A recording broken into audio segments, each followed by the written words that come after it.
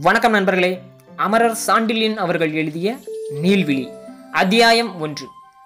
அந்திக் கதிரவன் அள்ளிச் சொரிந்த அழகை அப்புறமும் இப்புறமும் புறவியில் ஊர்ந்த வண்ணமே பார்த்து மகிழ்ந்த ஜடிலன். கதிரவன் ஓட்டத்துக்கும் மனித வாழ்க்கைக்கும் உள்ள பெரும் பொருத்தத்தை எண்ணி பார்த்து விம்மி பெருமூச்சொன்றை தனது நாசியிலிருந்து வெளிவிட்டான். சென்ற மூன்றரை காத பயணத்தில் பகலெல்லாம் கடுமையாக தகித்த கதிரவன் மறையும் வேளையில் மதிமயக்கத்தை அளிக்கவல்ல பேரழகை அவனி மீது அள்ளி வீச வேண்டிய காரணத்தை எண்ணி பார்த்த அந்த வாலிப வீரன் வாழ்க்கை முக்கால் வாசி கடுமையும் அந்திம காலத்தில் சிறிது அமைதியையும் பெரும் தன்மை வாய்ந்தது என்பதை உணர்த்தத்தான் பகலவன் இப்படி நடந்து கொள்கிறான் என்று தனக்குத்தானே சொல்லிக் கொண்டான். அந்தி நெருங்கிய அந்த வேளையிலும் புழுக்கம் அதிகம் இருந்ததால் தனது மேலங்கியை பிரித்துவிட்டு ஆசுவாசப்படுத்தி கொண்டு இத்தனை அழகு விரிந்தும் இம்சையும் சிறிது இருக்கின்றதே என்று நினைத்து அழகின் நிலையற்ற உபயோகமற்ற தன்மையை எண்ணி மெல்ல நகைக்கவும் செய்தான். அப்படி நகைத்து கொண்டு இருபுறமும் முன்னும் நோக்கவே செய்த அந்த வாலிபன் சிறிது தத்துவத்தை அதிகமாகவும் ஓடவிட்டான் தனது சிந்தையில். மாலை கதிரவன் மஞ்சள் நிற கதிர்கள் தலை சாய்த்து அறுவடைக்கு தயாராக பக்க வயல்களில் இருந்த நெற்கதிர்களை பொற்கதிர்களாக அடித்திருந்ததையும் சாலையின் ஓரங்களில் இருந்த சிற்சில மஞ்சள் அரளை மலர்களை அதிக மஞ்சளாக அடித்திருந்ததையும் அதுவரை லேசாக காய்ந்து கிடந்த வரப்பு புல் தட்டைகள் இது தங்கத் தகடுகள் போல் தெரிந்ததையும் பார்த்து கதிரவன் எதையும் மிகைப்படுத்தி காட்டுகிறான். ஆகவே அவன் ஒளியிலும் உண்மை பட்டவர்த்தனமாக தெரிவது கஷ்டம். என்று முடிவு கட்டிய அந்த வாலிப வீரன் உண்மை புலப்பட்டு விட்டது என்பதை குறிக்க எல்லாம் வெட்ட வெளிச்சமாகிவிட்டது என்றொரு பழமொழி தமிழில் இருக்கிறதே.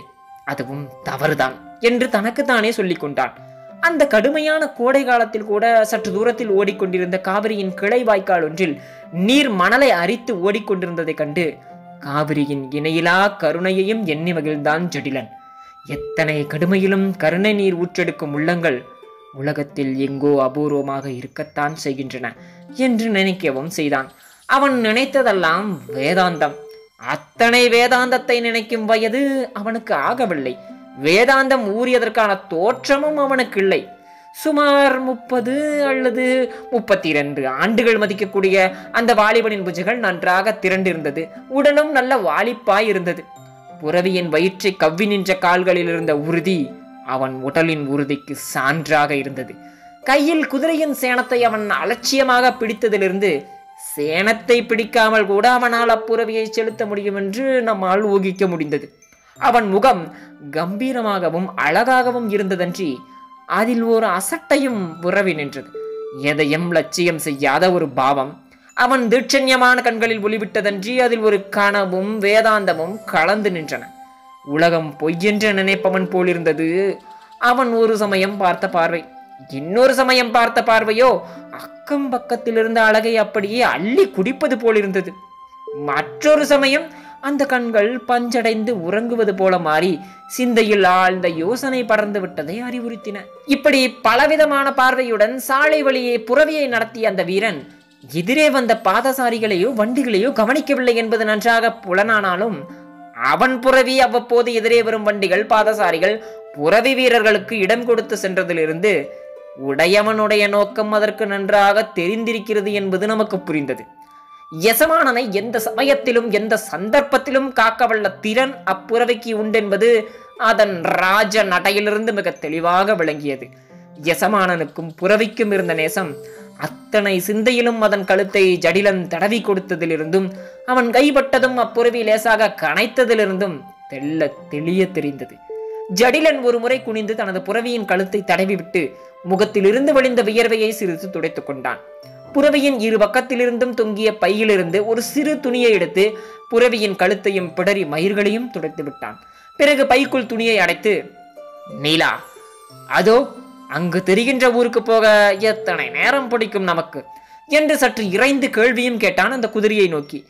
நீலன் என்ற அந்த புறவி தலையை ஒருபுறம் தூக்கி அவன் கூறியதை செவியில் வாங்குவது போல அபிநயித்து நடையை முன்னைவிட சற்று துரிதமாகவே போட்டது. அதிகம் வேகம் வேண்டாம் நீலா. இந்த வெயில் என்னைப் போலவே உன்னையும் தகித்திருக்கிறது. இருட்டுவதற்குள் அங்கு போய்விட்டால் போதும் என்று கூறிய அந்த வாலிபன் இடைக்கச்சையிலிருந்து தொங்கிக் கொண்டிருந்த நீண்ட வால் சிறிது சரிப்படுத்தி திரும்பினான். அப்படி திரும்பியதால் வாளின் உரை சிறிது பக்கவாட்டில் உராயவே புறவி மீண்டும் நிதானத்துடன் நடக்கலாயிற்று. தூரத்தே தெரிந்த ஊர் பெரும் பட்டணமும் அல்ல சிற்றூரும் அல்ல என்பது பொது பார்வையிலிருந்தே தெரிந்திருந்ததால் எப்படியும் அந்த ஊரில் ஏதாவது ஒரு சத்திரம் இருக்கும் தங்குவதற்கு. என்று உள்ளூரை எண்ணிக்கொண்டான் ஜடிலன். அவன் இருந்த இடத்திலிருந்து தெரிந்த பெரிய ஸ்தூபி அந்த ஊர் நகரம் என்பதை நிரூபித்தது. ஆனால் ஸ்தூபியை சுற்றி தெரிய வேண்டிய பெரும் கட்டிடங்களோ ஆலய கோபுரங்களோ எதுவும் தெரியாததால் அது பெரும் நகரமாய் இருக்க முடியாதென்ற முடிவுக்கு வர வேண்டியிருந்தது ஜடிலனுக்கு. ஆகையால் பேரூரும் அல்லாது சிற்றூரும் அல்லாது அந்த ஊரில் என்ன வசதி இருக்குமோ ஏது வசதி இருக்குமோ என்று சந்தேகத்துடனேயே அந்த ஊரை மெல்ல மெல்ல அடைந்த ஜடிலன் அவனுக்கு வியப்பு மெல்ல மெல்ல அதிகமாயிற்று. உண்மையில் அவன் அடைந்தது சிற்றூர் அல்ல ஒரு நடுத்தர நகரம் என்பதை அந்த நகரத்தை நெருங்க நெருங்க உணர முற்பட்டான் ஜடிலன். இத்தகைய நகரம் சுமார் அரைகாதத்துக்கு முன் எப்படி அடியோடு மறைந்து கிடந்தது என்று எண்ணி வியப்பின் வசப்பட்டான். அந்த நகரத்தின் முன்னணியில் ஆகாயமளவி நின்ற பெரும் தோப்புக்கள் அந்த நகரம் இருக்குமிடம் தெரியாது அடித்திருந்தது என்பதையும் அந்த மரத்தோப்புகளும் செயற்கையாக மனித ஏற்பாட்டால் சுற்றிக்கப்பட்டிருக்க வேண்டும் என்பதையும் உணர்ந்த ஜடிலன் இத்தனை நேரம் இயற்கை சிருஷ்டித்த பொய்களை பற்றித்தான் நினைத்தேன். ஆனால் மனித சிருஷ்டிக்கும் பொய் இயற்கையையும் தோற்கடிக்கிறது என்று சற்றே தனக்குத்தானே சொல்லிக் கொண்டான் இப்படி எண்ணிய வண்ணமே பேசிய வண்ணமே முகப்பு தோப்பு ஒன்றுக்குள் நுழைந்த அந்த வாலிபன் அந்த தோப்பின் முடிவில் பெரும் கோட்டை சுவர் ஒன்று கிளம்பியதைக் கண்டு கோட்டை சுவரை மறைப்பதற்காகத்தான் இத்தகைய முகப்பு தோப்பை ஏற்படுத்தியிருக்கிறார்கள் என்பதையும் புரிந்து கொண்டான். இப்படி மிக மர்மமாக இருக்கும்படி இந்த நகரம் ஏன் நிறுவப்பட வேண்டும்? என்று தன்னைத்தானே கேட்டுக்கொண்டு அதற்கு ஏதும் விடை காணாமல் கோட்டை சுவரை அடைந்த ஜடிலன் கோட்டைக்குள் எந்தவித தடையுமின்றி நுழைந்தான். கோட்டையின் வாயில் மிக விசாலமாய் இருந்ததன்றி அவற்றில் காவலர்களும் இருந்தார்கள். ஆனால் அவனை எந்த காவலனும் தடை செய்யவும் இல்லை எங்கு செல்கிறான் என்று கேட்கவும் இல்லை. அதை பற்றி சிறிது ஆச்சரியப்பட்டு கொண்டே அந்த நகரத்துக்குள் நுழைந்து சென்று ஜடிலன் கோட்டை சுவரை அடுத்து பெரும் அங்காடி இருப்பதையும் அந்த அங்காடியில் வர்த்தகமும் பலமாக நடப்பதையும் கண்டு பத்து பதினைந்து சிற்றூர்களுக்கு அது பொது சந்தையா இருக்க வேண்டும் என்ற முடிவுக்கு வந்தான். கடைகளில் இருந்த பொருட்களின் தரம் நடுத்தர வாழ்வினருக்கு சற்று அதிகப்படியாய் இருந்ததை அவன் கண்கள் கவனித்ததால் அநேகமாக அரச குடும்பங்களும் இதர வணிகர்களும் அங்கிருந்து பொருட்களை வாங்கலாம் என்று ஊகித்து இப்படி ஒரு நகரம் சோழ நாட்டில் இருப்பதாக இன்று வரை நான் கேள்விப்பட்டதே இல்லையே. இந்த நகரம் இப்படி ரகசியமாக இருக்க வேண்டிய அவசியம் என்ன? என்று தன்னைத்தானே கேட்டுக்கொண்டு விடை கிடைக்காமல் புறவியை அந்த நகரத்தின் தெருக்களில் நடத்திச் சென்றான். மாலை நன்றாக சூழ்ந்து விட்டதால் மஞ்சள் வெயில் லேசாக மறையத் தொடங்கி விட்டதன் காரணமாக ஆங்காங்கு வணிகர்கள் தங்கள் கடைகளில் தீபங்களை கொளுத்த துவங்கினார்கள். அவ்வப்போது எங்கிருந்தோ வந்து கொண்டிருந்த புஷ்ப வண்டிகள் மலர்களை கூடை கூடையாக பூக்கூடைகளில் கொட்ட முற்பட்டதால் எங்கும் புஷ்ப வாசனை பரவிக் கொண்டிருந்தது. அந்த வாசனையை மாலை நேர மந்தமாருதம் பூக்கூடைகளிலிருந்து முகர்ந்து கொண்டு பக்கத்து வீதிகளுக்கு கொண்டு போக துவங்கியது. அந்த நகரத்தின் உள் வீதிகளில் இருந்த வீடுகளிலிருந்து புறப்பட்ட மங்கையர் பலர் புஷ்பம் வாங்க கடை வீதிகளுக்கு விரைந்து வந்து கொண்டிருந்ததால் ஜடிலன் அந்த கும்பலிலிருந்து விலகிச் செல்ல புறவையிலிருந்து குதித்து புறவையை நடத்திய வண்ணமே விலகி விலகி சென்றான். பெண்கள் கும்பல் வீதிக்கு வீதி அதிகமாகியதால் வீதிகளின் ஓரமாகவே சென்ற ஜடிலன் இந்த நகரத்தில் இத்தனை பெண்கள் எங்கிருந்து வந்தார்கள்? என்று தன் மனதுக்குள் கேள்வி ஒன்றை எழுப்பிக் கொண்டான். ஆடவர்களும் பலர் வந்து போய் கொண்டிருந்தாலும் பெண்களின் எண்ணிக்கையே அதிகமாயிருந்ததையும் பெண்களும் அநேகமாக யுவதிகளாயிருந்ததையும் சற்று வயதானவர்கள் கூட நாற்பது வயதை தாண்டாத மாதர்களாகவே இருந்ததையும் கண்ட ஜடிலன் அந்த நகரம் சோநாட்டில் ஒரு விந்தைதான் என்று நினைத்தான். அதைவிட பெரிய விந்தை ஒன்று அவனுக்கு அந்த நகரத்தின் மற்றொரு புறத்தில் காத்திருந்ததை அவன் அந்த சமயத்தில் உணராமலேயே நாளை இந்த தெருக்களை தாண்டிச் சென்று அந்த நகரத்தின் வடபுறத்தில் இருந்த காவிரி ஆற்றின் மீது தன் கண்களை ஓட்டினான். காவிரியின் இரண்டு மூன்று இடங்களில் அரித்து அழகாக ஓடிக்கொண்டிருந்தது. அதன் தன்புணலில் குளித்து அன்றைய பயணத்தின் ஆயாசத்தை தீர்த்து கொள்ள இஷ்டப்பட்ட அந்த வாலிபன் கோட்டையின் வடபாகத்து மதிலை நோக்கி சென்றான். மதிலை அடந்து வாயிலையும் தாண்டி இருப்பான் அவனை தாண்ட விடாது அடித்தது சற்று எட்ட இருந்த வாவியொன்று. அந்த வாவியின் அழகு அவன் இதயத்தை கொள்ளை கொண்டது.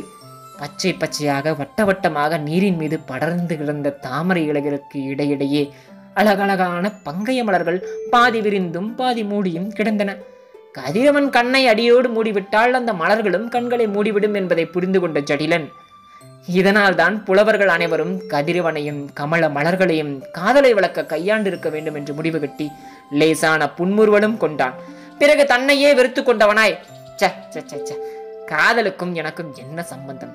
இந்த ஜென்மத்தில் காதலை துறப்பதென்று சபதமும் செய்து விட்டேனே என்று தனக்கு தானே சொல்லிக்கொண்டு புறவியை பக்கத்தில் இருந்த ஒரு மரத்தருகே நிற்கவிட்டு தனது மேலங்கியையும் மற்ற ஆடைகளையும் களைந்து புறவி மீது போட்டுவிட்டு தனது இடக்கச்சையையும் வாளையும் அதன் முதுகில் தொங்கவிட்டான் இடையில் ஒரு துண்டை மட்டும் கட்டிக்கொண்டு தாமரை குளத்தில் இறங்கினான். ஏற்கனவே அங்கு சிலர் குளிக்கிறார்கள் என்பதற்கு அறிகுறியாய் துறையும் இருந்ததால் அந்த துறையில் இறங்கி தாமரை இலைகளை விளக்கிக் கொண்டு நல்ல ஆழத்துக்கு சென்று மூழ்கி நீராடினான். தாமரை தடாகத்தின் தன்புணல் கதிரவன் வாட்டி அவன் உடலுக்கு பேராதரவாய் இருந்ததால் அவன் நேரம் போவதே தெரியாமல் நீராடினான். நீர் அழித்த குளிர்ச்சியும் மூழ்கி எழுந்த போதெல்லாம் கன்னத்தில் தடவிய ஓரிரு தாமரை மலர்களும் இலைகளும் அவன் அழுப்பையெல்லாம் உரட்டி அடித்தன. கடைசியாக அவன் மூழ்கிய நிலையிலிருந்து எழுந்து எதிரே குளத்தில் வாடி குவியத் துவங்கிவிட்ட பங்கைய மலர்களின் அழகை பார்த்து கொண்டு மார்பளவு நீரில் நின்றான். சுகம் என்றால் இதுதான். இருள் நெருங்கிக் கொண்டிருக்கும் இந்த நேரத்திலும் இந்த தாமரை மலர்கள் எத்தனை அழகாய் இருக்கின்றன. எனக்கு என்ன வரவேற்பளிக்கின்றன என்று சிந்தித்து மகிழ்ச்சியால் மந்தகாசம் செய்தான். அந்த மகிழ்ச்சி ஒரு வினாடிதான் நிலைத்தது. டேய் யார் நீ? என்று கரையிலிருந்து எழுந்த கேள்வி அவனை திகைக்க வைத்தது. தன்னை எப்படி அவமரியாதையாக அழைக்கும் துணிவு யாருக்கு இருக்கும்? என்று எண்ணிய வண்ணம் சீற்றம் மிகுந்த கண்களுடன் கரையை நோக்கி திரும்பினான் ஜடிலன். கரையில் அவன் கண்ட காட்சி அவனுக்கு விவரிக்க இயலாத பிரம்மையை அளித்தது. கரையிலிருந்து சற்று தள்ளி புறவியில் அமர்ந்திருந்த வண்ணம் கையில் வேல் தாங்கிய வேல் வெளியால் ஒருத்தி அவனை அதிகாரத்துடன் உற்று நோக்கி கொண்டிருந்தாள். முதல் கேள்விக்கு அவன் பதில் சொல்லாததால் வா வெளியே என்று இரண்டாவது உத்தரவு வெளிப்பட்டது. தன் புனலில் நீராடிய ஜடிலன் ஏதோ கேட்க வேண்டும் என்பதற்காக அவளிடம் கேட்டான். வராவிட்டால் வேறு வார்த்தை உதிரவில்லை அந்த வேல் விழியாளிடமிருந்து. அவள் உதடுகளிலிருந்து எந்த வார்த்தையும் வரவில்லை. ஆனால் அவள் கண்களில் கனல் தெரிந்தது.